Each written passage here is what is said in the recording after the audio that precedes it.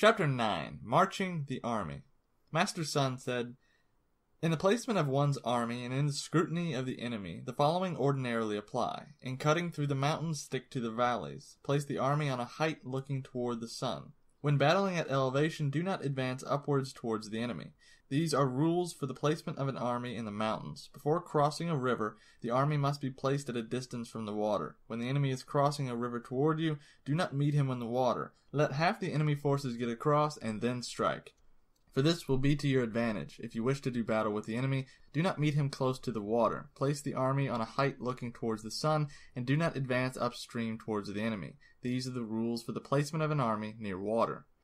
When cutting across the marshes and the swamps, it is essential to get out of them quickly and to not linger. If you want to join battle with the enemy army in swamps and marshes, you must stick to the grasses and keep your back to the woods. These are the rules for the placement of an army in swamps and marshes.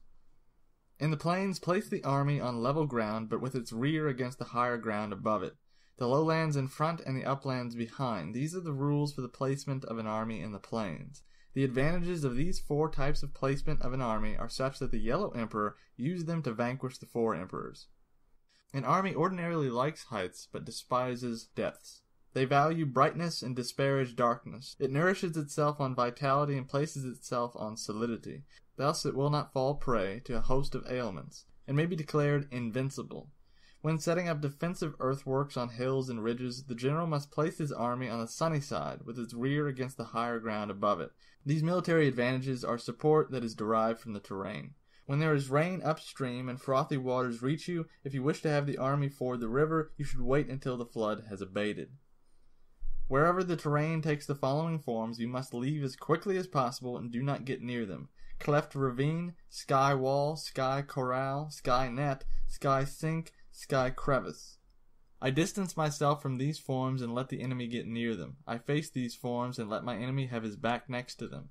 When marching one's army, where there are precipices and obstacles, reed filled depressions, and mountain forests with dense foliage, you must thread your way through them with the utmost caution, for these are places where ambushes and snipers are found. When the enemy is nearby but remains still, it is because he is relying on strategic location. When he is far off but tries to incite me into battle, it is because he wants me to advance. If he chooses to occupy a place that is easily accessible, it must be because he finds some advantage there. When the multitude of trees begin to move, the enemy is coming.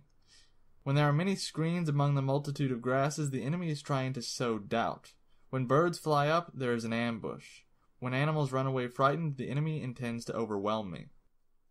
When dust rises sharply upwards, chariots are coming. When it hangs low and spreads out broadly, foot soldiers are coming. When it is long and wispy, the enemy is gathering firewood. When it is small and sporadic, the enemy is searching for a place to set up camp. When the enemy's envoys employ obsequious language, his preparations are intensifying, and he is getting ready to advance. When the enemy's language is aggressive and he makes a show of rushing forward, he is getting ready to retreat.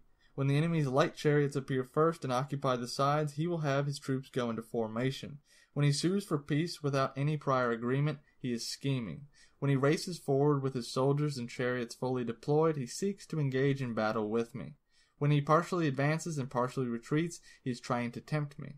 If the enemy's soldiers lean on their weapons while standing, they are hungry. If they drink first when filling vessels with water, they are thirsty. If they see advantage but do not advance toward it, they are weary. If birds flock to the enemy camp, that means it is empty. If the enemy soldiers call out into the night, it means they are terrified. If there is turmoil in the enemy camp, the commander is insufficiently stern. If their flags and banners are moving, there is chaos. If the officers are irritable, they are tired. If they feed the horses grain and eat the flesh of their animals, the army has taken down the cooking pots from their hooks and will not return to camp. They are in desperate straits.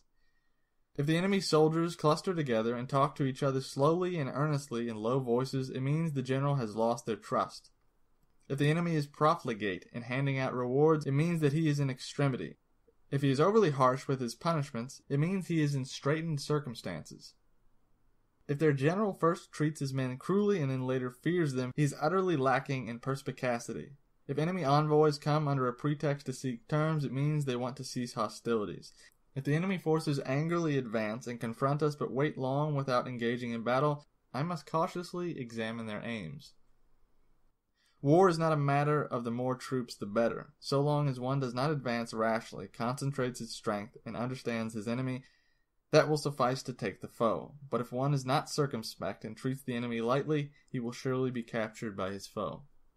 If one punishes his troops before he has gained their fealty, they will not submit to him, and if they do not submit, it will be difficult to use them in battle. If one has already gained the fealty of the troops but does not carry out appropriate punishments, he cannot use them in battle either. Therefore, I cultivate my soldiers with civility, and treat them even handedly according to their military regulations. Hence, I will always be sure to achieve my goal. If all along I can assure myself that the orders are carried out so that my men are properly instructed, then my men will submit.